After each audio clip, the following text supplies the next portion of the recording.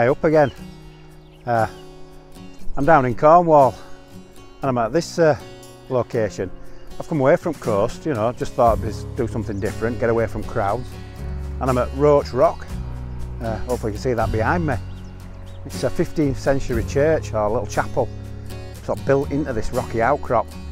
It's uh, it's really strange and you, I love it. It's, it's a bit different.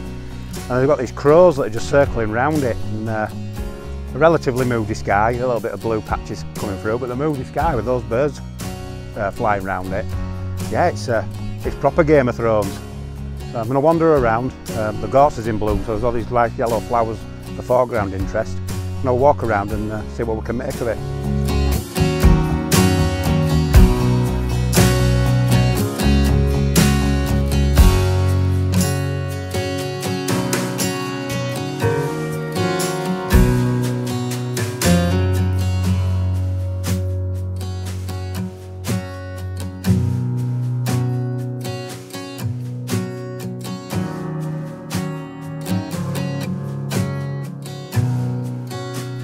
So I've walked up a little bit closer now, I'm sort of at the foot, foot of the chapel now, foot of the rocks, uh, looking up at, at, quite a steep angle.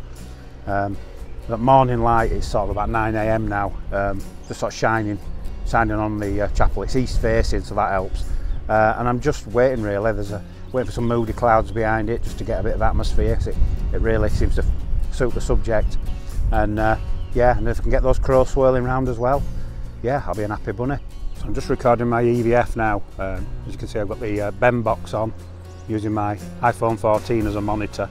So now you can see the EVF. Uh, I'm sure you can see there that it's quite a high contrast uh, scene. Um, I've got the crows flying around again, which is, which is great. And I keep getting these broken up clouds going across, as you can see now, um, from right to left. The sun's over on the left hand side, on the eastern side. Uh, and I'm just waiting for it, if it can just come through the clouds, it'll just warm the, the tones on those on those rocks.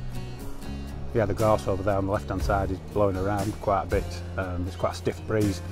So I've had to uh, up my ISO from the native 64 up to 100, maybe 200, just to get that faster shutter speed. So it's just a case of waiting now, waiting for, for uh, the clouds to give me the interesting sky I want and uh, hopefully I get that light as well and yeah, I'll fire off a couple of shots.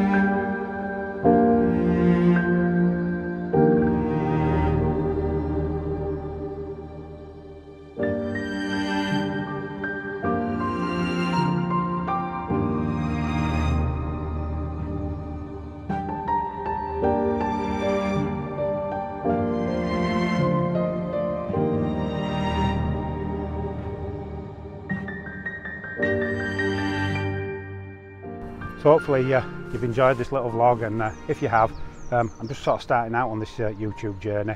So uh, if you could do me a favour, you could like, subscribe and maybe even give my bell a little bit of a nudge. That'll really help me uh, grow this channel. So uh, until next time, I'll be seeing you